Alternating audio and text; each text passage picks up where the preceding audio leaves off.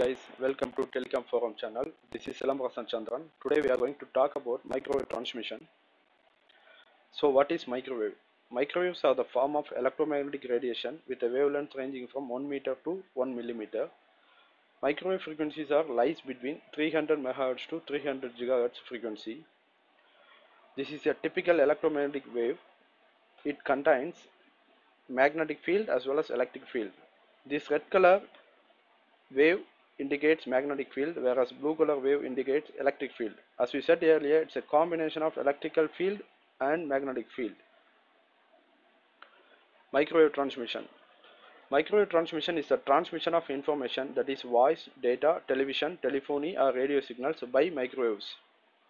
Microwaves are widely used for point-to-point communication because their small wavelength allows conveniently sized antenna to direct them in narrow beams which can be pointed directly at the receiving antenna. Let's suppose this is a main hub site. It contains two microwave links from here to there and from here to there. Without obstacles between two antenna is called line of sight. It supports approximately 30 miles. Microwave link or hub. The connection of two fixed microwave sites via line of sight is called microwave link or hub. This is a example picture. Site A and site B without any obstacles. The signals are transmitted from, from here to there is also called line of sight. Microwave key parameters. The parameters are hertz, frequency, amplitude, phase and polarization. Hertz. The measurement of signals electromagnetic frequency expressed as a number of cycles per second. Frequency. The rate of waves oscillation measured in hertz. Amplitude. The strength or power level of the wave. Phase. The particular point in the cycle of waveform measured in degree. That is angle. Polarization. The orientation of electric field driving the wave. Line of sight. It's a type of propagation that can transmit and receive data only where transmit and receive stations are in the view of each other without any obstacles between them. Live examples are FM radio, microwave and satellite transmission. Site A, Site B without any obstacles between site A to site B is called line of sight that, that is LOS. Antennas Antennas are the devices that radiates that is transmit or receive electromagnetic waves of certain frequencies. Microwave antenna. An antenna is designed to radiate and receive microwave frequencies therefore is also called microwave antenna. This is a microwave antenna installation picture. This black color cable indicates a waveguide. These are the microwave antenna with the radios. This is 3 diameter microwave antenna which means it supports very long distance. Waveguide. A metallic physical transmission medium and wave propagates along it. Microwave energy travels through guided media is called waveguide. We have four types of waveguides that is rectangular waveguide, circular waveguide, elliptical waveguide and corrugated waveguide. This is rectangular waveguide and this one circular waveguide, this one elliptical waveguide whereas this one corrugated waveguide. The main properties of microwave links are it involves line of sight and it was mostly affected by environmental constraints in, including rain fading and fog have limited penetration capabilities through obstacles such as hills and building and trees. Signals can be degraded during solar proton events. This is a transmitting antenna, this is a receiving antenna, this is called line of sight. The line of sight should be without any obstacles between two microwave antennas. Fading loss in the signal strength across the link caused by atmospheric disturbance like rain or snow that can scatter the microwave signals. The lower frequency microwave bands offer greatest possible distance that is theoretically it allows 50 km that is 31 miles. This is site A, site B. This is a normal signal without any obstacles. If we have any fading issues the signals are scattering so we will get the reflection between two micro antennas this is a reflected path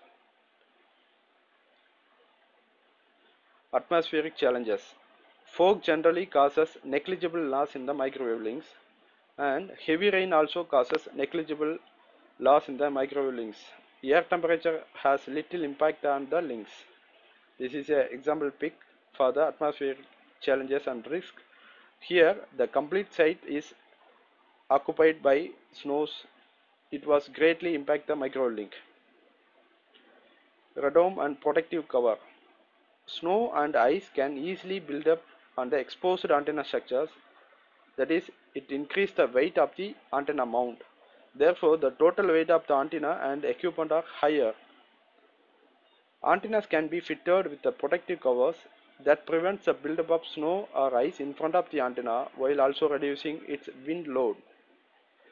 Radomes are particularly useful for large and long haul micro antennas that are already heavy.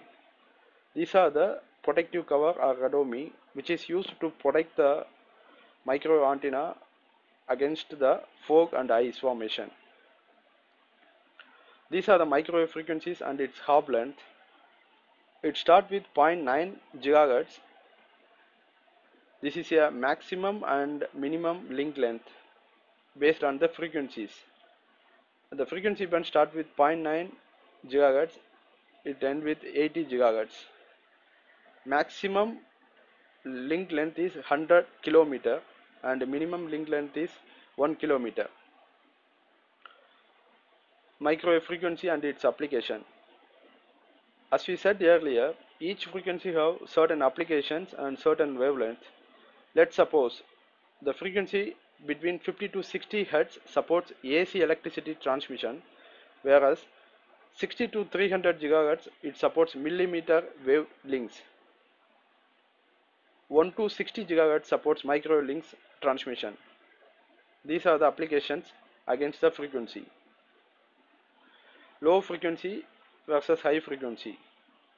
The low frequency microwave bands offers greatest possible distance, theoretically allowing the links in excess of 50 km, that is 31 miles. In telecommunication, the frequency and the distance are inversely proportional to each other. When you have the low frequency, it provides larger distance. When you have the higher frequency, it provides lesser distance.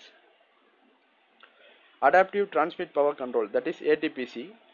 ATPC dynamically adjusts the power levels to compensate for any link impediments. Adaptive modulation. Adaptive modulation is used to dynamically switch the modulation schemes according to the prevailing channel conditions. The typical modulation schemes for selected adaptive modulations are 4 QAM, that is quadrature amplitude modulation 16 QAM, 64 QAM, 128 QAM, 256 QAM, 512 QAM and 1024 QAM. This is a example picture for the adaptive modulation. When the sky is clear, the link can able to send 1024 QAM. Whereas the link is affected by rain, the link will support 256 QAM modulation. Whereas the link having affected heavily through rain, it it sends only 4 QAM again when the link can able to send 1024 QAM when the sky is clear thank you for watching. If you like the video please like subscribe and share with your friends. Thank you